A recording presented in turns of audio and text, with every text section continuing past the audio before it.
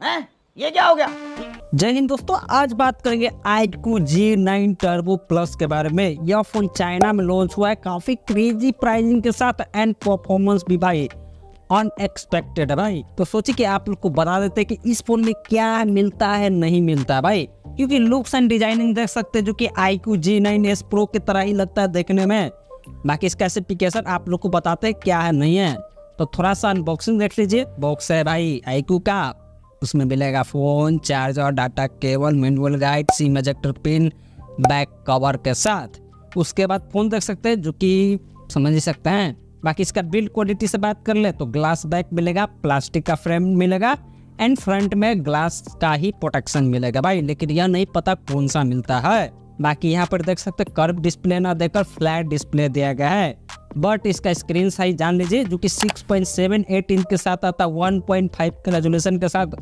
144 hertz का refresh rate है and peak brightness जो कि 4500 निट्स के साथ आता है। बाकी H D R ten bit फलाना डिपकाना जो भी डिस्प्ले में होता है, सब कुछ अवेलेबल है भाई। तो डिस्प्ले गुड एंड बेस्ट है गेमिंग के लिए भाई, जो कि रिफ्रेश रेट आप लोग भी देख सकते हैं।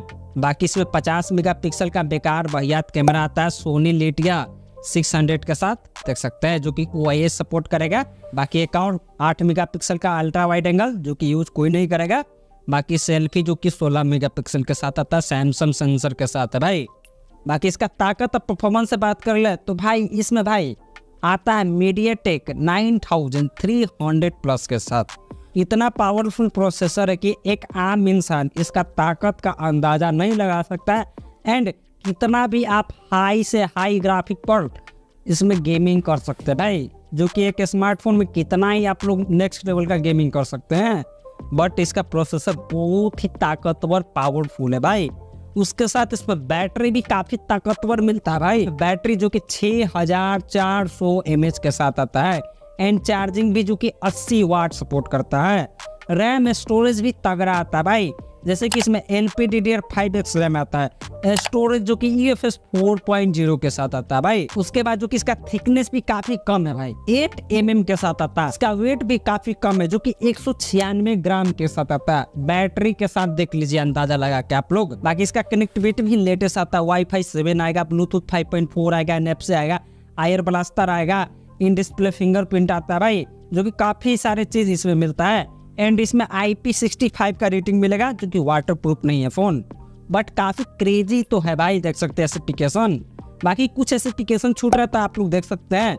बाकी कलर वेरियंट भी आप लोग देख सकते हैं भाई.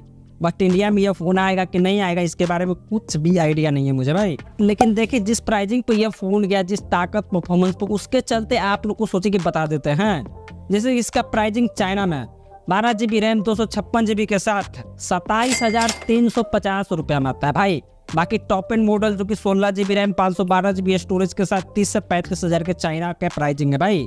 जो कि इंडिया में इससे थोड़ा सा ज़्यादा भी लेता है तो क्या दिक्कत है भाई? बट इस फ़ोन को लाए, तब तो मज़ा है।